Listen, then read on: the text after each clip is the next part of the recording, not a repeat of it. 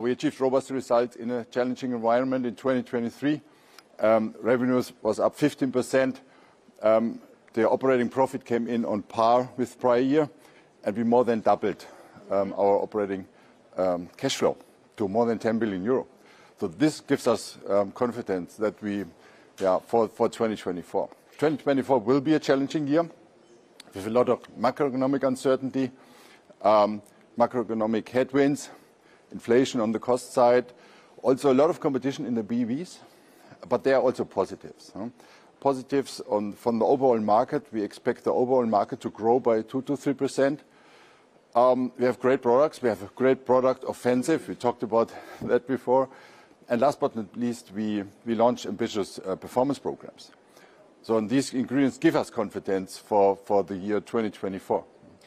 Let's talk about like a little bit about the general growth story behind, because you're saying, of course, there's loads of competition, especially probably from China. So how serious is that competition if you look at how much subsidies they're getting? They they are very cost efficient. Um, so in a nutshell, how much threat is there from Chinese competitors? Hmm. Um, when you talk about Chinese competitors, I assume you talk about Europe. I mean, China for China is a, is a different story. In Europe, we have a very strong position. We have strong products. We have great brands. We have also a lot of fleets, um, fleet customers. Um, and we work on productivity and on the cost base. And with these ingredients, we are convinced that we have a very, very good position and a very strong position going forward. We take the Chinese competitors serious, um, as we did before with Japanese and Korean uh, competition. Uh, but we're convinced we have a very strong future in Europe. Yeah. Let's look also on the Chinese market, because there, um, the combustion engines, you have been very strong with electrified vehicles. It looks a bit weaker and weak, essentially. Um, how do you want to turn around your fortunes there? No, you're exactly right. We have a very strong position in the combustion engine business, more than 20% share. It even grew last year. But we have to catch up in the BEV segment.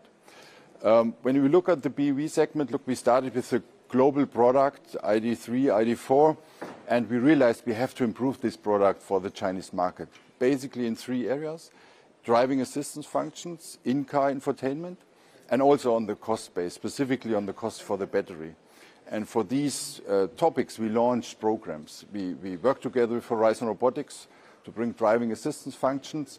We team up with ThunderSoft to increase our in-car infotainment. We bring features like karaoke. And last but not least, we we get an LFP battery from from Gotion, which is much cheaper and then gives us in the position to to also offer uh, more competitive pricing. When will you be able to offer this more competitive pricing in China? So these measures, uh, they will kick in over the next one to two years.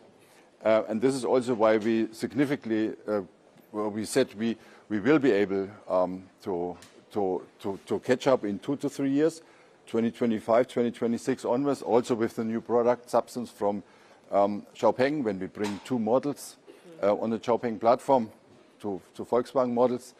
Uh, and in between, we are prepared to deliberately give market share in line with our value over volume strategy.